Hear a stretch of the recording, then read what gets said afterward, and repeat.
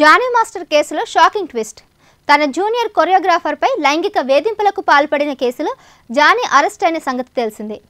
అయితే ఈ case remand రిపోర్టులో పోలీసులు సంచలన విషయాలను నమోదు చేశారు.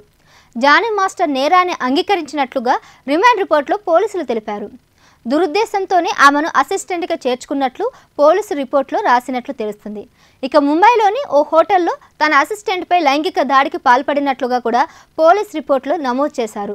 అసిస్టెంట్పై లైంగిక దాడి చేసినప్పుడు ఆమె వయసు పదహారేళ్ళని నాలుగేళ్ళుగా ఆమెపై పలుమార్లు జానీ మాస్టర్ లైంగిక దాడికి పాల్పడినట్లుగా రిమాండ్ రిపోర్టులో ఉన్నట్లు తెలుస్తుంది. ఇవే కాకుండా ఈ కేసులో జానీ మాస్టర్ భార్య కూడా బాధితురాలిని బెదిరించినట్లుగా ఉంది. విషయం బయట చెప్తే సినిమా అవకాశాలు రాకుండా చేస్తానని బాధితురాలపై జానీ బెదిరింపులకు పాల్పడినట్లుగా పోలీసులు రికార్డులు నమోదు చేశారు.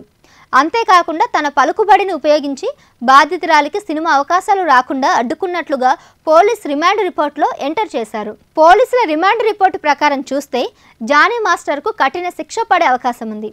మొదటిసారి లైంగిక దాడి చేసినప్పుడు బాధితురాలు వయసు పదహారేళ్ళు కావడంతో ఫోక్సో చట్టం కింద కూడా కేసు ఫైల్ అయింది ఈ చట్టం కింద కూడా కఠిన శిక్ష పడే అవకాశం ఉందని న్యాయ విశ్లేషకులు సైతం అంటున్నారు.